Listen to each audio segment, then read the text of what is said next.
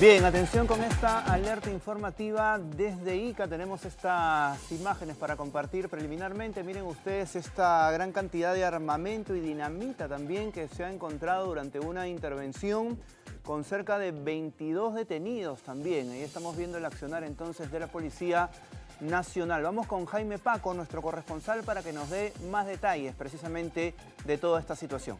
Jaime, muy buenos días, te escuchamos. Eh, buenos días, Luis. Sí, ¿cómo estás? Efectivamente, en un, gran operativo ejecutado por efectivos de la Policía Nacional de esta región, eh, han logrado detener a 22 personas, dentro de ellos 19 mayores de edad y 3 menores de edad, en el sector de la Tierra Prometida. Ellos este, eh, lo han denominado una banda criminal debido a que venían chantajeando y vendían terrenos de forma informal eh, dentro de lo que de la captura que se ha tenido han encontrado pues un arsenal de, armamentos como una pistola ametralladora, han encontrado cinco pistolas de 9 milímetros, también han encontrado dinamita, han encontrado eh, gran cantidad de cartuchos de bala, de municiones, asimismo eh, chalecos antibalas y cinco vehículos modernos donde se movilizaban.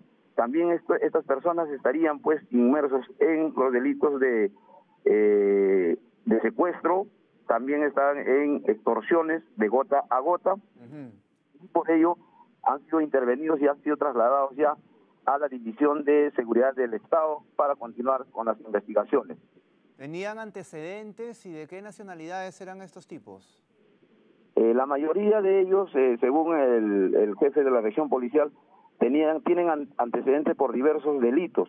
Eh, hasta el momento eh, no no se ha detectado que hay algún extranjero, pero la mayoría son peruanos. Aquí también hay que destacar a una persona que estaría liderando esta esta banda criminal. Es una persona que hace aproximadamente más o menos 20 días había sido este, disparado, había sido eh, con el intento de asesinarlo, un delincuente muy conocido en esta región y muy buscado por la policía eh, había sido dado de alta hace tres días, inmediatamente ha, vuelto a las andadas, digamos así, en este sector de tierra prometida, en el sector de Comatrán. Y ha sido capturado también. Bueno, tremendo, Jaime, lo que nos estás contando. Muchas gracias entonces por esta alerta informativa. Ahí está la gran cantidad entonces de armamento. Miren ustedes, distinto tipo de armas, ahí municiones, las caserinas, además de tarjetas de crédito, celulares, en fin, todo lo que utilizaban estos tipos involucrados en diversos delitos, entre ellos el tráfico de terrenos, pero también sobre todo el tema de la extorsión y el sicariato. Ahí estaba la alerta informativa desde ICA entonces con Jaime Paz.